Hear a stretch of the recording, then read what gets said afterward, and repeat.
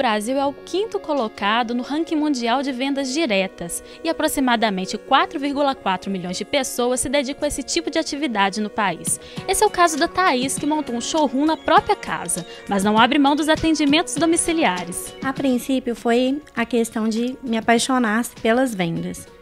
Em segundo lugar, o tempo de eu estar mais com a minha família. Em épocas de crise é necessário a gente se adequar ao mercado.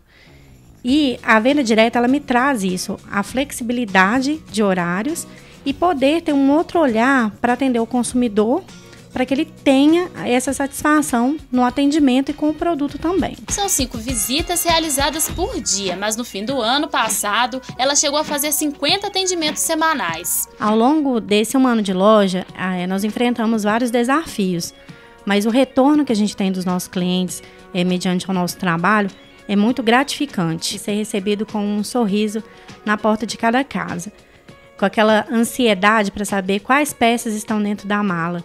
A gente monta com muito carinho é, as malas para os nossos clientes, de acordo com o biotipo, escolhemos peças realmente a dedo para cada cliente. O retorno positivo dos nossos clientes faz com que a gente sempre trabalhe pensando neles e tentando melhorar ainda mais a, a qualidade do nosso trabalho. Como toda mulher, a Thalita é apaixonada por roupas e sempre que precisa sabe com quem contar. O material é de ótima qualidade, o atendimento é perfeito, maravilhoso.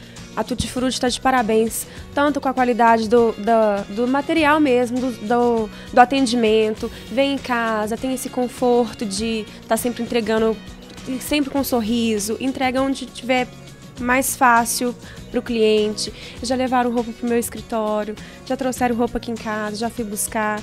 E é sempre esse prazer de estar recebendo as roupas dela.